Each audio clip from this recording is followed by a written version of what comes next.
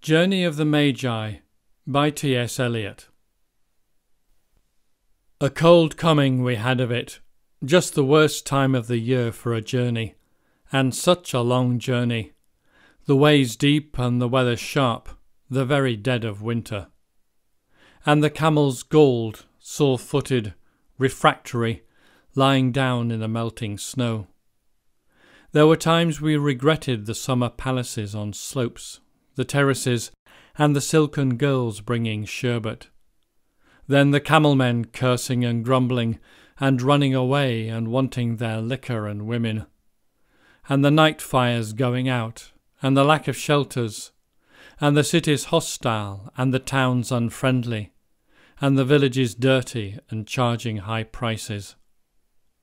A hard time we had of it.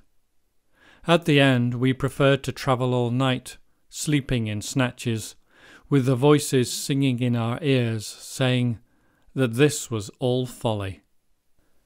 Then at dawn we came down to a temperate valley, wet below the snow line, smelling of vegetation, with a running stream and a water mill beating the darkness, and three trees on the low sky, and an old white horse galloped away in the meadow. Then we came to a tavern with vine leaves over the lintel, six hands at an open door dicing for pieces of silver, and feet kicking the empty wineskins. But there was no information, and so we continued, and arriving at evening not a moment too soon, finding the place. It was, you might say, satisfactory. All this was a long time ago, I remember and I would do it again. But set down, this set down, this. Were we led all that way for birth or death? There was a birth, certainly. We had evidence and no doubt. I had seen birth and death, but had thought they were different.